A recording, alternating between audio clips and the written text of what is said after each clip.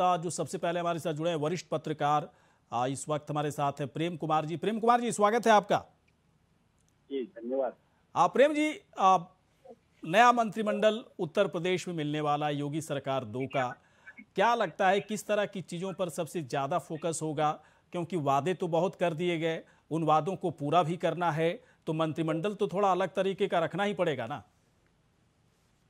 हाँ इस बात को गौरी जी समझिए कि उत्तर प्रदेश में जातीय समीकरण को साधना भी प्रायोरिटी होती है किसी सरकार की। और आपने भी बताया कि पिछले जो मंत्रिपरिषद में किस किस तरीके से विभिन्न जातियों को प्रतिनिधित्व दिया गया। तो हालाँकि भारतीय जनता पार्टी की ओर से ये कहा गया कि उन्होंने जाति वर्ग जाति खत्म कर दिया और लोगों ने, सभी वर्ग के लोगों का वोट मिला। वोट मिलना एक बात है सही बात है हर वर्ग का वोट नहीं मिलेगा तो सरकार कैसे बनेगी? मिला है लेकिन जाति खत्म हो गई है ऐसा नहीं है।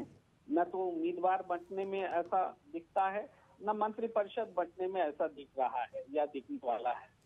आ, तो इसका कारण हालाँकि आज की एक घटना का भी ज़िक्र कर दूँ कि पूर्व मंत्रिपरिषद में आ, जो योगी मंत्रिपरिषद थी उसमें स्वाति सिंह मंत्री थी होती थी। आ, अब उनके पति को कैबिनेट में जगह मिलने के आसार हैं लेकिन वही स्वाति सिंह आज तलाक की अर्जी दे रही हैं अपने पति से। तो जो पहले मंत्री थी मैं इसलिए उदाहरण दे रहा हूँ कि मंत्री थी आज मंत्री नहीं है उनके पति मंत्री हैं और वो तलाक की अर्जी दे रही हैं। हाँ। तो एक बहुत खराब शुरुआत ही इसको बोलेंगे भारतीय जनता पार्टी की ओर से।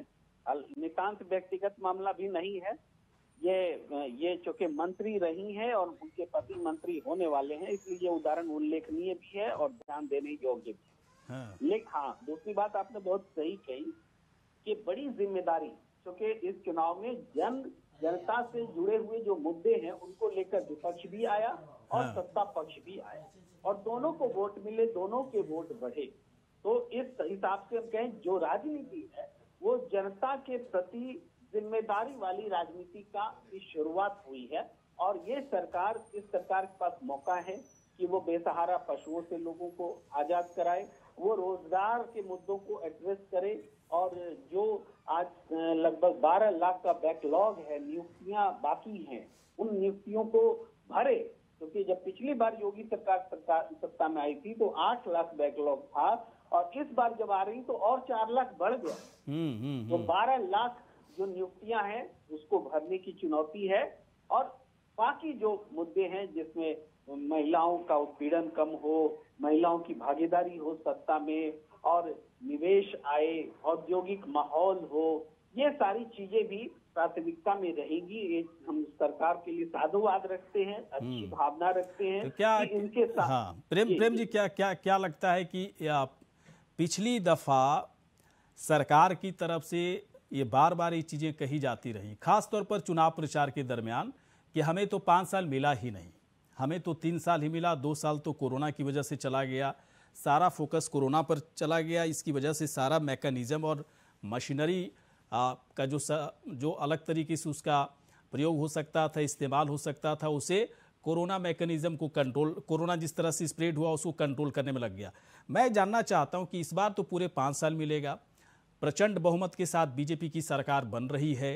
तो क्या इस पाँच साल का जो अनुभव होगा जनता के साथ, सरकार का, क्या कुछ बिल्कुल अलग चीज़ें दिखेंगी इस बार?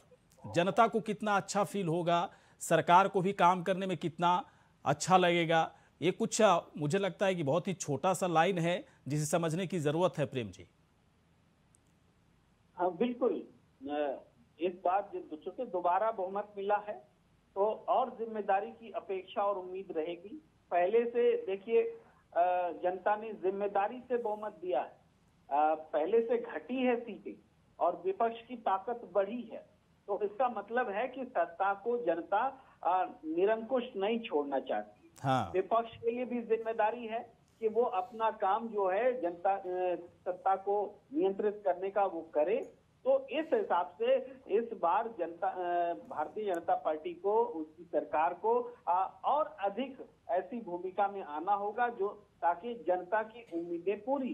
इस बीच 2024 का चुनाव भी है याद रखेंगे। और लोकसभा चुनाव के मुकाबले बहुत कम वोट मिला है। आप तुलना कीजिए लोकसभा में 50 परसेंट से ज़्यादा वोट बीजेपी को मिले थे। इस बार 42 प्रतिशत वोट मिले हैं। तो अगर फिर फिर से 50 परसेंट पाना है 80 में से 70 सीटें या उससे ऊपर जाना है तो आपको जनता के सामने परफॉर्म करना पड़ेगा कोई चारा है नहीं। हम्म, नहीं बहुत बहुत बेहतरीन बात प्रेम जी। मैं थोड़ी देर के बाद आता हूँ आपके पास।